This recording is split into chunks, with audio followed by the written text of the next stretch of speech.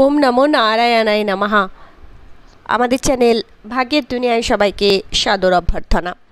আজকে আমরা আলোচনা করব যে সিঁড়ির নিচে কোন জিনিস আপনি যদি রাখেন তাহলে জীবনে কোনোদিনও সুখ সমৃদ্ধিময় জীবন তো পাবেনই না, তাছাড়া ছাড়খার হয়ে যাবে জীবন।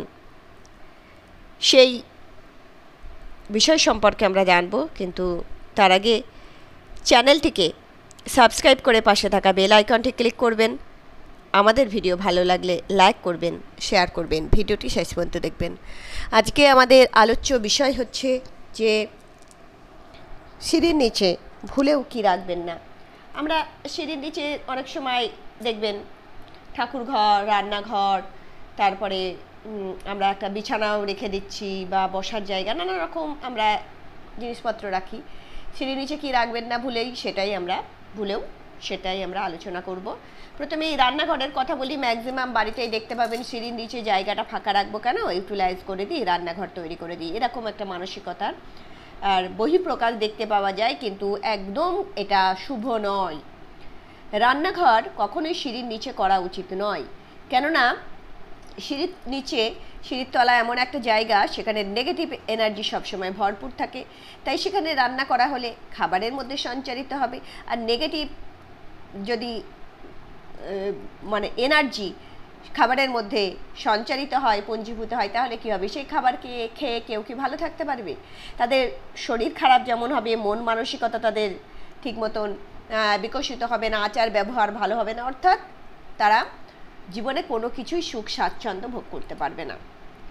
রান্নাঘর সর্বদাই এক মানে সিঁড়ির নিচে। কখনোই করা উচিত নয়, সর্বদাই নির্দিষ্ট স্থানে করা উচিত। এরপরে ঠাকুর ঘর বলব, হয়তো ভাব, অনেকে মনে করেন যে ঠাকুর ঘর তৈরি করে দিই। জায়গা নেই, এই জায়গাটা ইউটিলাইজ করি, কিন্তু বলব যে ঠাকুর ঘর কখনোই করবেন না। চিন্তা করে দেখুন, ঠাকুর ঘরের উপর দিয়ে পা দিয়ে দিয়ে যাচ্ছে মানুষে। তাই না? ভগবানের জায়গা ঊর্ধ্বে, নিম্নে নয়। তাই আপনি সেই যত তলাতেই করুন না কেন, তার উপর দিয়ে সিঁড়ি কখনোই কিন্তু উচিত নয়। তাই ভুড়ির নিচে সিঁড়ির নিচে কখনোই ঠাকুরের সিংহাসন রাখবেন না বা ঠাকুরের ঘর করবেন না। বসার ঘরের কথা এবারে আমরা বলব অনেক বাড়িতেই কিন্তু এটা দেখতে পাওয়া যায়। জায়গার অভাব সিঁড়ির নিচে বসার এর জন্য।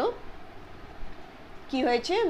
সোফা পেতে দিয়েছে বা দেখতে পাওয়া যাচ্ছে যে হল ঘরের মধ্যে দিয়ে সিঁড়ি উঠে গেছে। সিঁড়ি নিচে সোফা সেট পেতে কিন্তু কখনোই সিঁড়ির নিচে বসার জায়গা বা সোফা সেট রাখা উচিত নয়। এটা করলে কি হয়? যারা সেখানে বসে তাদের মধ্যে অশুভ শক্তির সঞ্চার হয়। তারা সুন্দর জীবনযাপন করতে পারে না।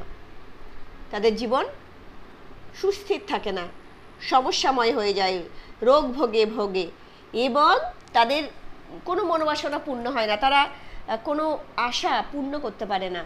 তারা উন্নতি করতে পারে না, উন্নতি রোধ হয়ে যায়।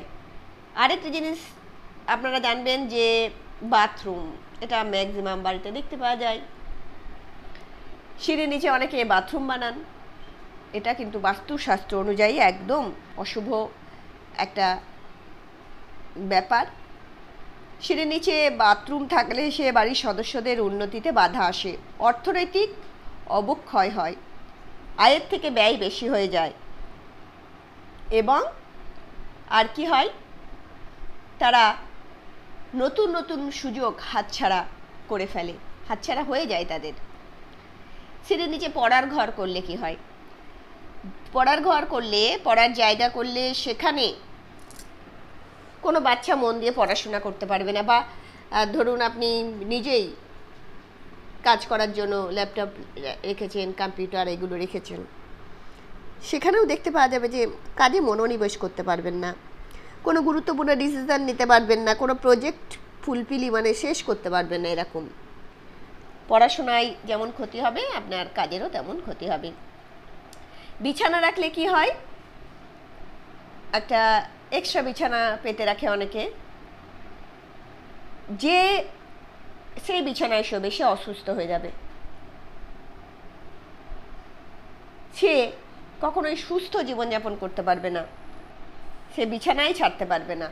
বিছানায় শয্যাশায়ী হতে থাকবে এবং ডাক্তার বদ্যি কবিরাজ নার্সিংহোম ওষুধ এই সমস্ততেই তার টাকা সব ছুমন্ত ছু হয়ে যাবে।